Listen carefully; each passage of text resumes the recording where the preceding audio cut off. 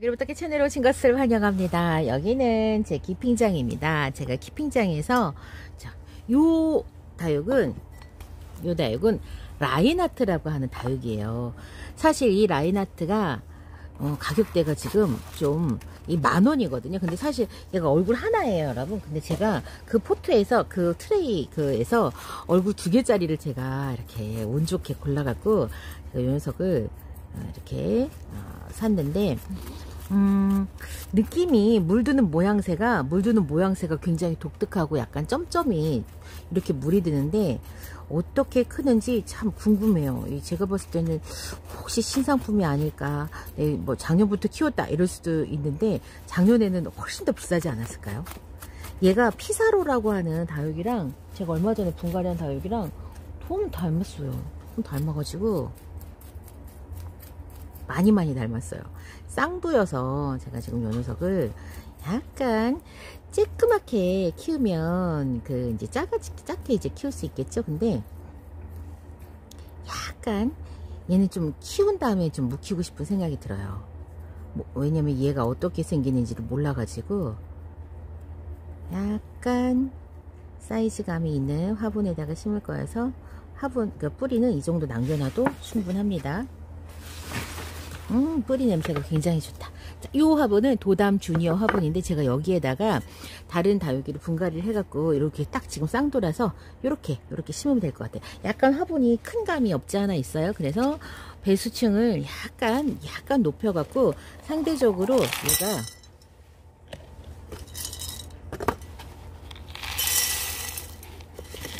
음, 흙이 너무 많이 들어가 있는 거를 제가 배수층을 높여 갖고 조절을 하고 있습니다.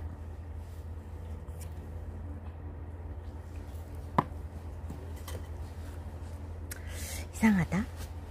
슈벨이 어디로 갔지? 어, 여기 있다. 참. 이래놓고서는 좀 이따가 이제 없으면 엄마 찾아 엄마 내 슈벨 봤어?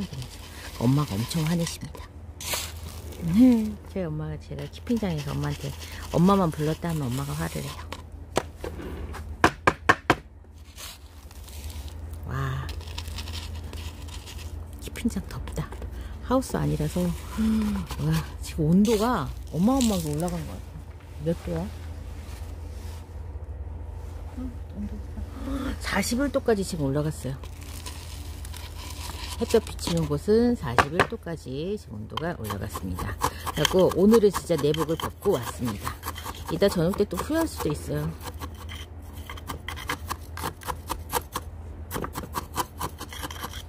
땅땅땅 약간 크네요. 약간 큰데 아까 보신 것처럼 제가 배수층을 높여가지고 배수층을 높여서 상대적으로 큰 화분의 그 단점인 그 배수 물마름 그 시간을 조금 줄였습니다. 탕탕. 어머 어떡해. 야 너 너, 너무 없어 보인다. 큰일 났다. 어머 어떡해. 너무 큰가 집이? 어쩔 수 없어 이제. 어쩔 수 없어. 그냥 이대로 큰 집에 살아야 돼 그리고 지금 너무 물을 못 먹어가지고 애기가 너무 말랑말랑해서 어떻게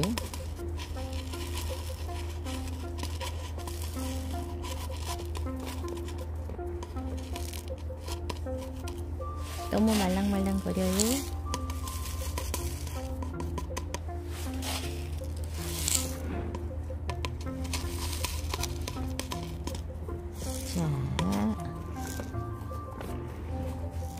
아 예쁘다. 여기다가는 제가 우리 돼지를 한 마리 이렇게 얹어주겠어 너 심심, 심심하지? 돼지랑 살아 이렇게. 이 이름이 라인하트. 라인하트. 제가 투명 그 이제 꽃그릇에 투명 이름표를 제가 지금 이렇게 사용을 하고 있어요. 근데 눈에 거슬리지 않는데 이름도 이름이 이렇게 눈에 확 이게 띄진 않아요. 가까이 가서 봐야 됩니다 자. 이렇게 어, 어 이렇게 이런 색깔 이렇게 진한 색감 나네요. 요.